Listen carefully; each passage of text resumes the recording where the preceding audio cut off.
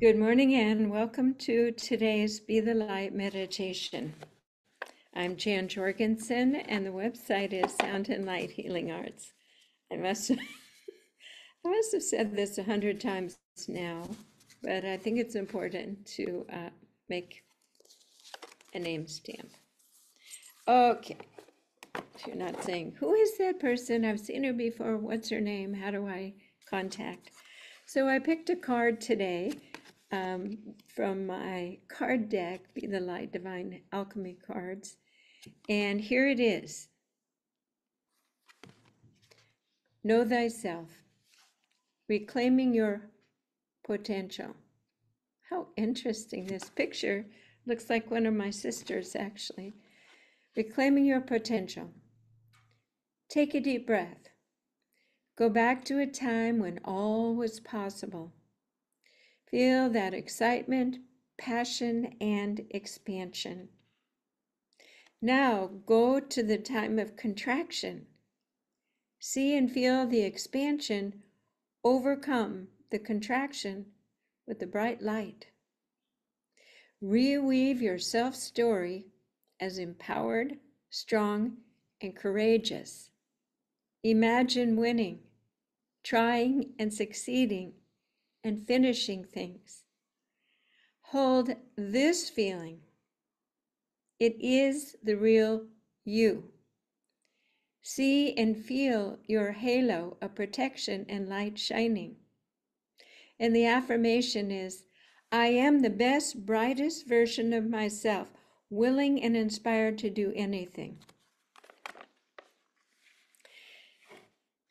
When I say reclaiming your potential, I say this because you were born this malleable, beautiful little newborn who your parents could have used the best parenting practices, which they didn't know and their parents didn't know, but they could have made you feel completely safe and nourished you with food in a certain way that you grew trusting the world trusting your environment, and trusting people. But honestly, not many of us had that perfect situation, and many of us were from the get go part of the abusive environment field, energetic field of what we call narcissism. And it's very popular now.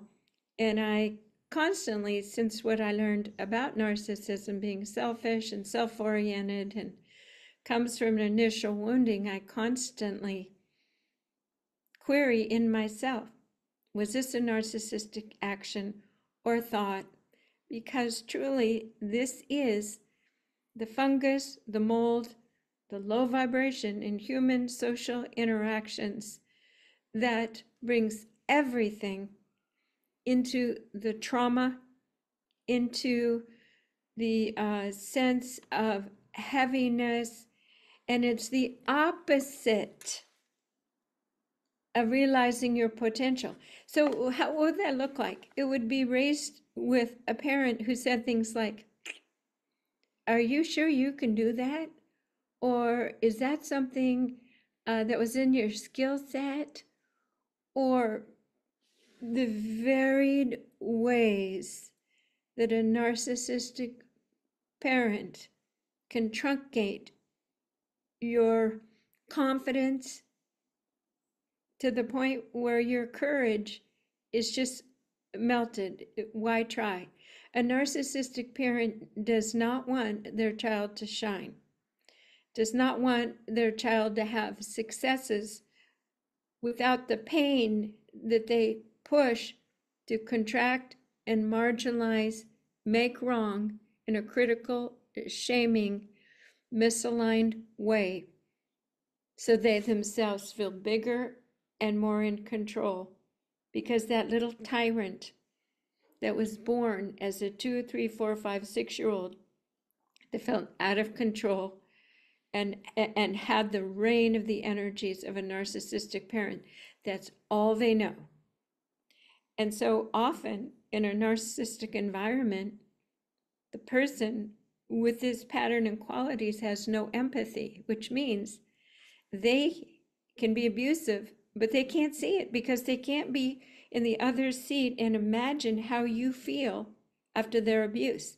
In fact, their abuse is normal normalized. They feel it's normal, so they often will say things like you're too sensitive or you want the world to be perfect or everything can't go your way. And they often will watch for any weak points in your emotional field, the things that you struggle with, and bring that back at any time where you're open and vulnerable, just to make sure that they are like a scorpion and they are stinging and neutralizing you to the point where you almost want to dissociate because you're wondering are my feelings even normal?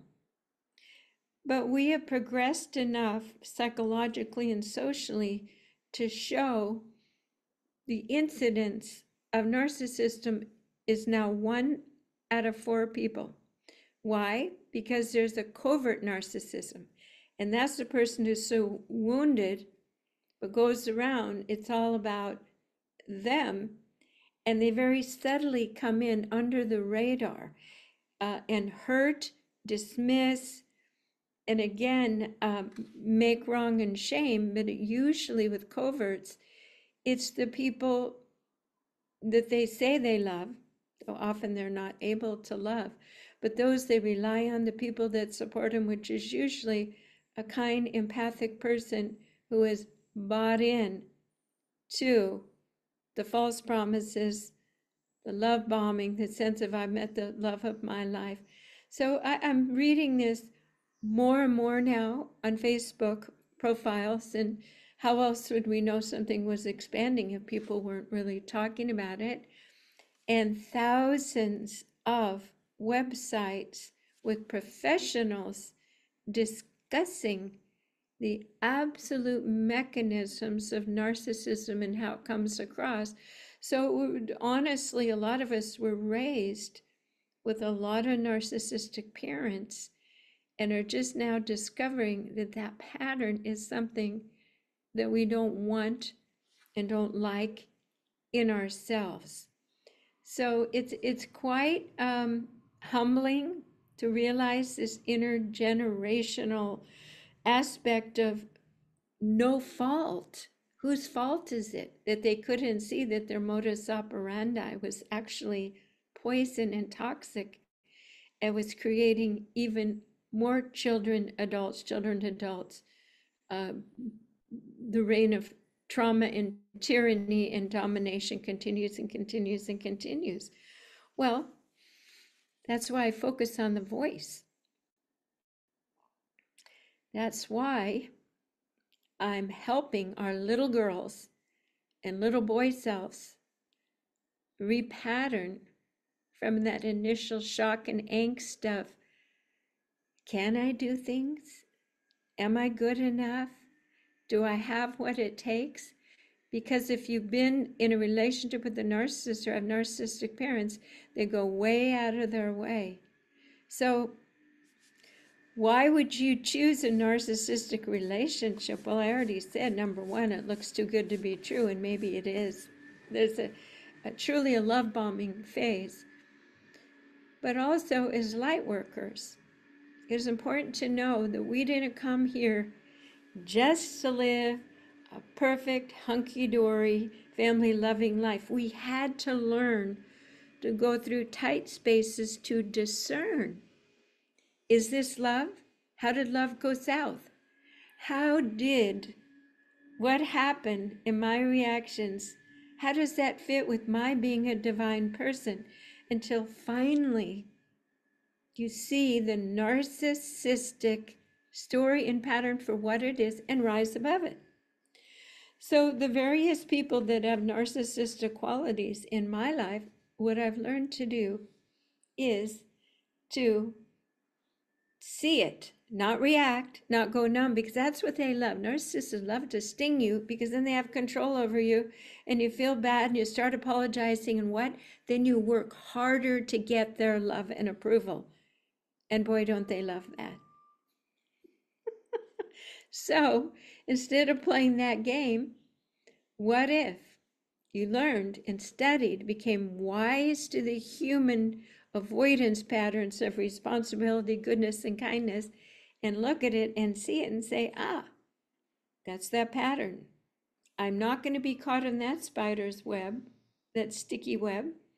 I'm going to take a breath and I'm going to see this person acting out in this way and I'm going to be true to myself, hold myself respect and love, and then have the courage to stay calm. And when the tantrum is over, to say, I'd like to talk to you about this specific behavior. Now, prepare for retribution, prepare for the beat up of everything you've done wrong later. And that, that's called word salad. Everything but to go right down into that little two year old being told, you screwed up again, you good for nothing. Okay?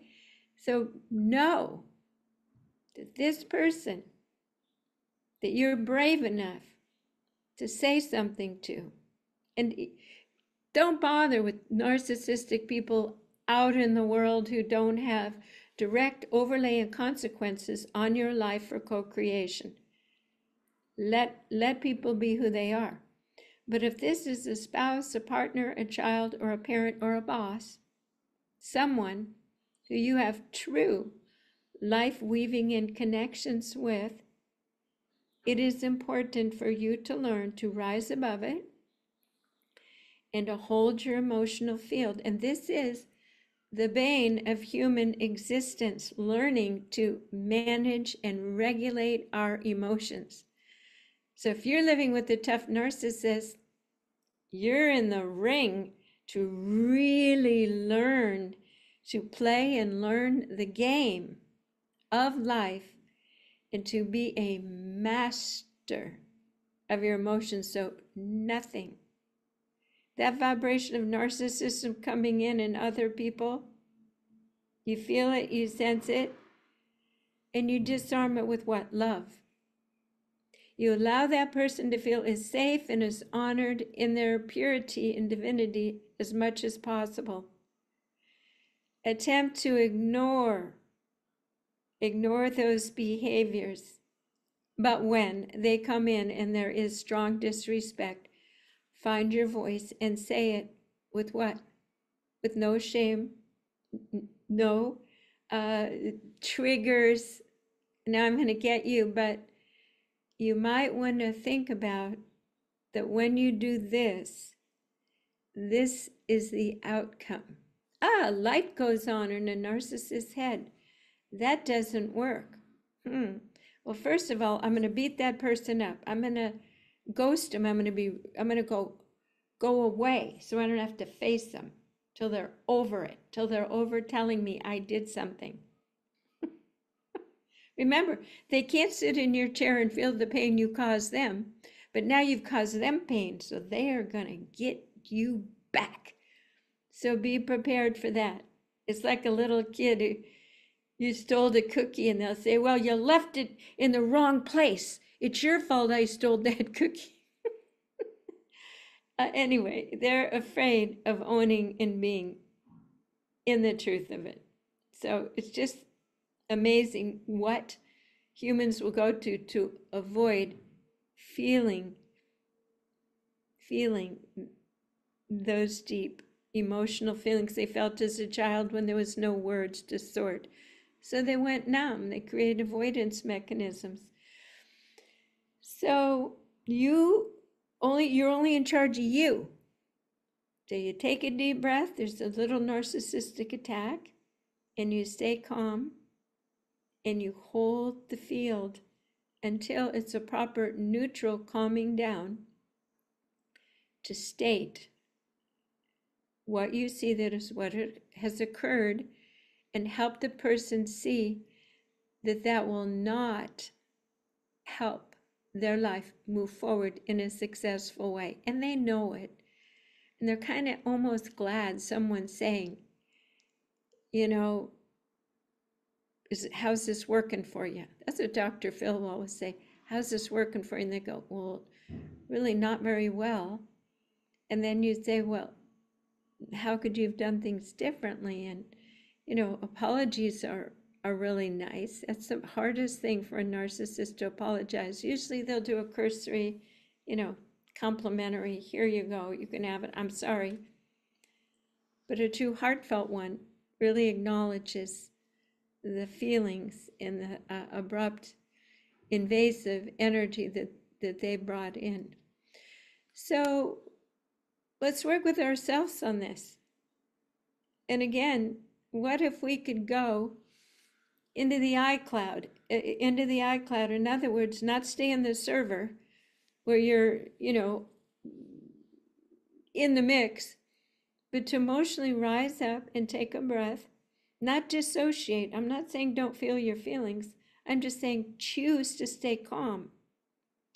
Choose to stay balanced so you can choose the best words that have the highest probability of the best outcomes. Okay? Because after a while, if you understand the narcissistic behaviors, and there's programs out there, there's daily mailings how to understand a narcissist because it'll take about a year for you to understand and really identify and be fully clear, especially on a covert narcissist, because they're under the radar, but they have all the same qualities is the grandiose, um, you know, almost manic, the world belongs to me, the really annoying ones the covert ones are often uh, the head of institutions and they run it in dominating tyrannical ways that, frankly, why am I spending time on this? Because if you're listening to this, you're a light worker and you're part of the solution. If this is a disease that affects 25% of the population, wouldn't it be good for light workers to see and understand and to disarm those behaviors with love. These people have never felt a trust with any human being in their entire life. And maybe you can be that person. Maybe you can turn that light on of, I see light in you. Whereas they've been playing it small in their own little demonized realm. So, as hard as narcissists are to stay around, they're lovable too. And as I said, we all have narcissistic qualities. And when I see it in myself, I'm just like, all right. Well, the awareness is what's good. Why? So we can all reclaim our potential, become benevolent beings dedicated to the principles of creation, truth, beauty, love, and goodness, and move into a new realm. But we can't do it pretending that people are co creators because their narcissistic qualities will come in and pull the rug out of any co creation over and over and over again. So, let's drop into a meditation and see uh, what spirit uh, would like to bring for us to work personally and collectively on this very important topic narcissism. Take a deep breath through the nose and out through the mouth. We ask and intend to set a sacred space. We reflect that I believe it was Narcissus, a being who looked at their reflection in the water and became so in love. That became the basis, that self orientation towards all. But in fact, narcissism in relationship is much different. It's based on extreme fear. So, fear is a vibration. We ask and intend that we work with fear all through our system now. Because truly, if you have narcissists in your life, you have a resonance within you that fears trusting yourself and that you bring in this fake trusting person that will test you over and over again and show you they are not trustworthy. And so you finally come back to yourself and you face yourself in the mirror and say, I tried to trust humanity outside of myself. And that the truest relationship for trust is with yourself and with the Creator. And only from that relationship does goodness flow. Only from that relationship can true loving human relationships grow in a healthy, functional way. I can prove all this to you by showing you people's auric, vibrational profiles, vocal patterns, how you attract narcissistic people based on your frequencies. So, again, you are seeking mastery over your emotions, which is dissipating fear. And that takes dropping into your pool of divinity.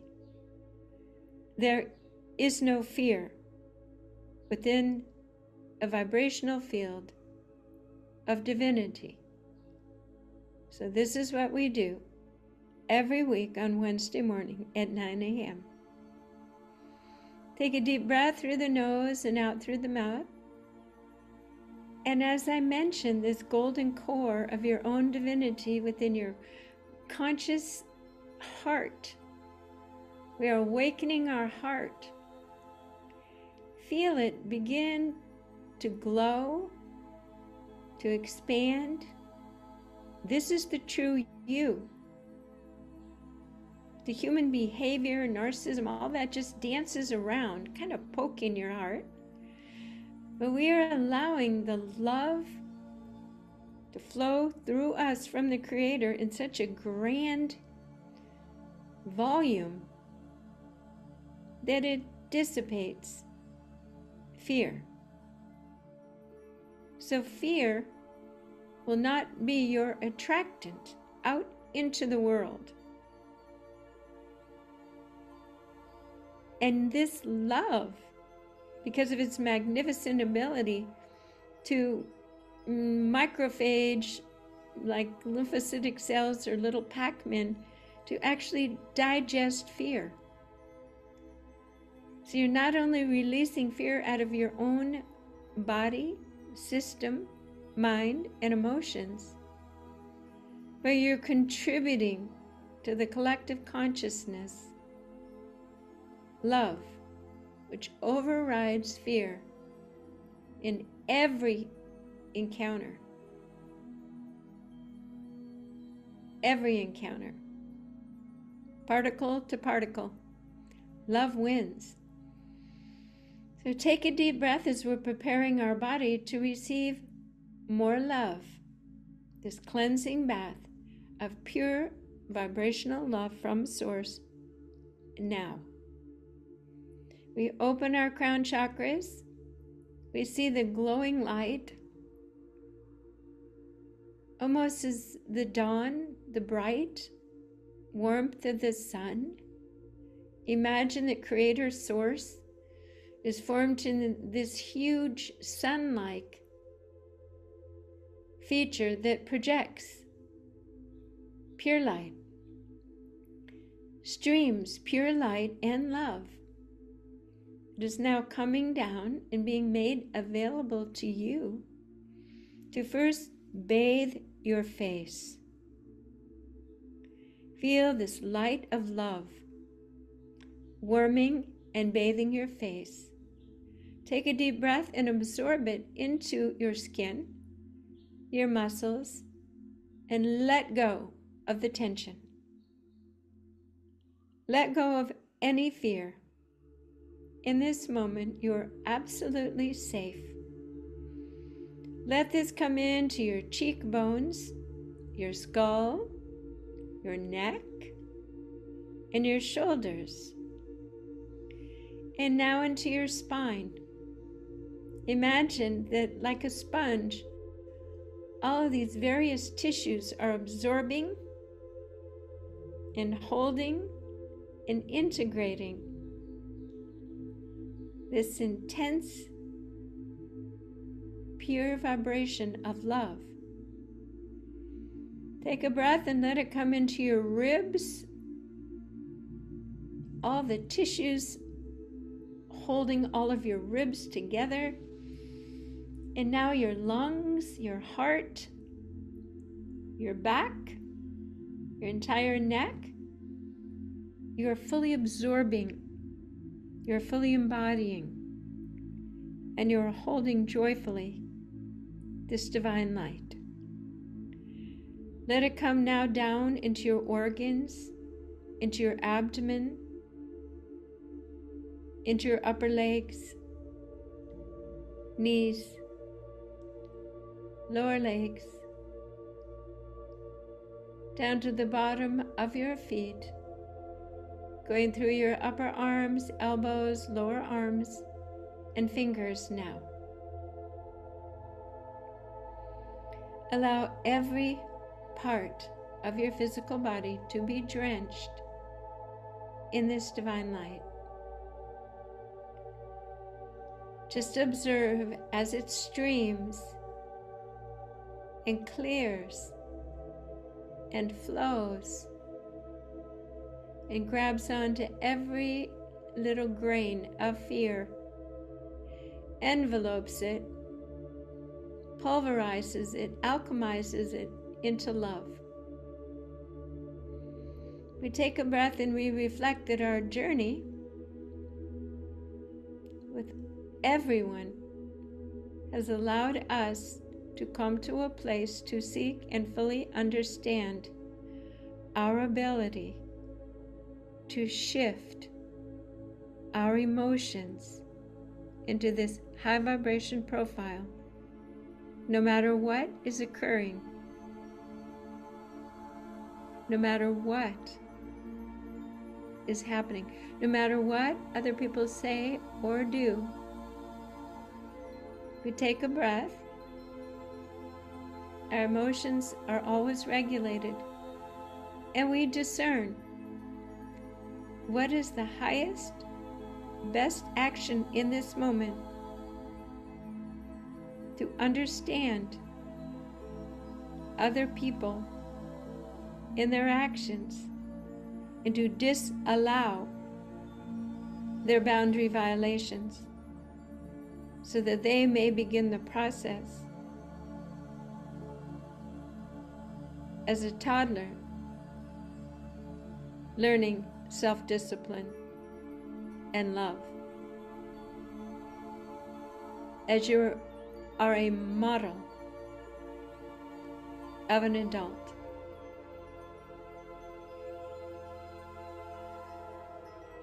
And in this way, you can witness this person, not allowing them to continue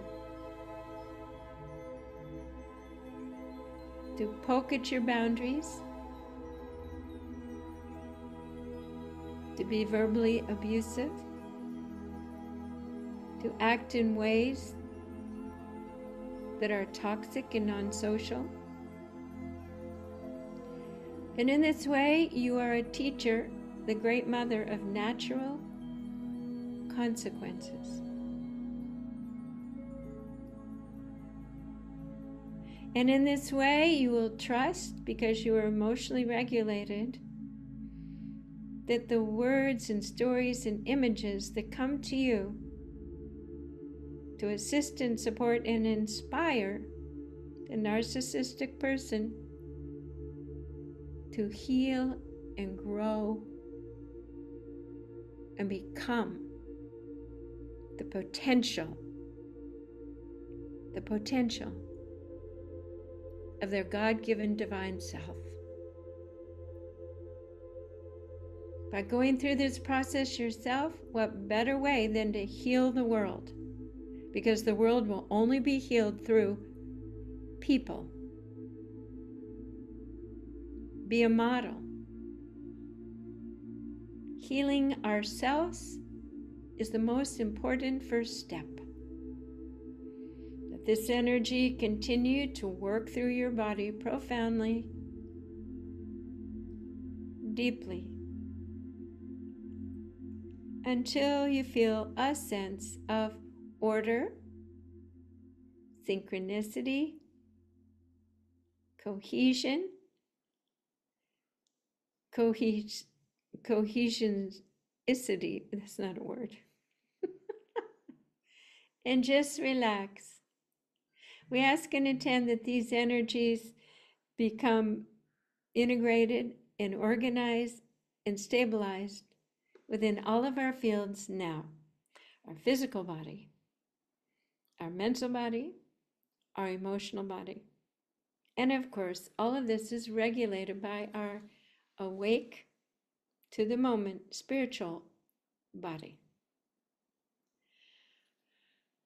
Nice deep breath. Let's finish this meditation by putting a beautiful golden resilient egg around our energy field. Nothing can penetrate our bubble of the energetic field that we choose to hold, one that is beneficial for us. Hold it. Golden resilient egg. Everything bounces off. So we are finished with today's meditation and message on narcissism.